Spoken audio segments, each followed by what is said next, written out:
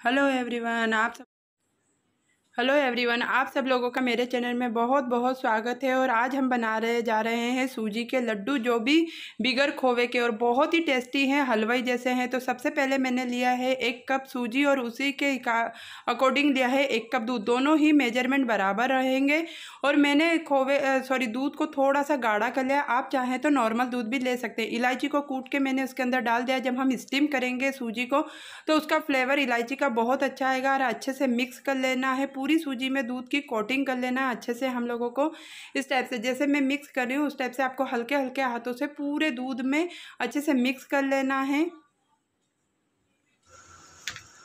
अब मैंने इस कंटेनर में जो दूध और सूजी को मिक्स करा था, इस कंटेनर में मैं डाल दूँगी और दूसरी तरफ़ मैंने जो इडली का साँचा होता है, उसमें पानी डाल के स्टीम होने के लिए रख दिया था। अब इस डब्बे को हम स्टीम होने के लिए रख देंगे। कम से कम आधे घंटे के लिए आप रखेगा ताकि सूजी अच्छे से स्टीम हो जाए। जब पूरी सूजी ठंडी हो जाएगी, फिर हम मिक्सी में पीस लेंगे। इस टाइप से मैंने मिक्सी में इसको पीस लिया अच्छे से जब पीस लेंगे हम लोग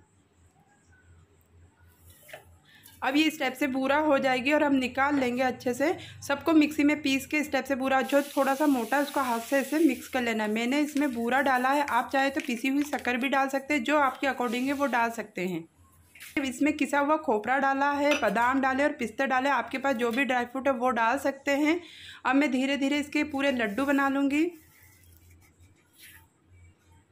इस टाइप से आपको लड्डू बना लेना है। देखिए, मेरे पूरे लड्डू बन के तैयार हो गए हैं। और आप खा के ज़रूर बताइएगा मुझे मुझे फीडबैक दीजिएगा कि कैसे लगे आपको मुझे बिगर खोवे के लड्डू।